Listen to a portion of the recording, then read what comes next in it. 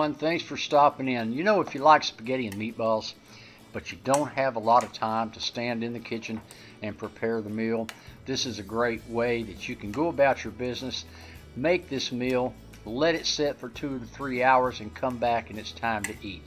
So let's get started and I'll show you how to do it. First, in a cold skillet, add some olive oil.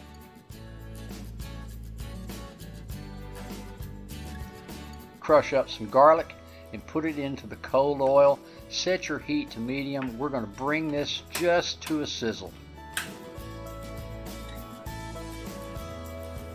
Once it starts to sizzle, reduce your heat down to low. Give it a quick stir. Then add some fresh chopped basil. Give it a stir and then remove it from the heat. Next, we're going to strain our oil. We're not going to use the garlic and the basil. We just want that infused oil to put into our spaghetti and meatballs. Then we're going to crack up some spaghetti into small pieces, place it in the bottom of the crock pot. Add about two cups of water, a 28 ounce can of crushed tomatoes, 15 ounce can of tomato sauce, and a 6 ounce can of tomato paste. Incidentally, you can cut off both ends, give it a press, it'll come out a lot easier rather than trying to dig all that paste out of there. Then we're going to put our infused oil into our mix. Give it a stir.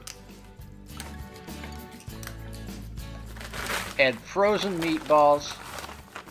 And then we're going to give that a mix.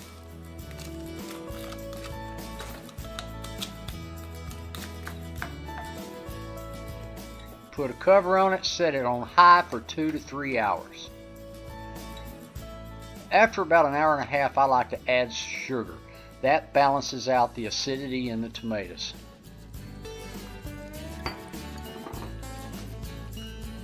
And incidentally, guys, if you like this video, I'd appreciate you hitting that thumbs up button and subscribe. Look at that spaghetti it's going to come out just perfect as if you stood over the stove and did it the normal way. And there you go guys, crock pot spaghetti. Let's give this a taste and see how we did. Well, that's really good.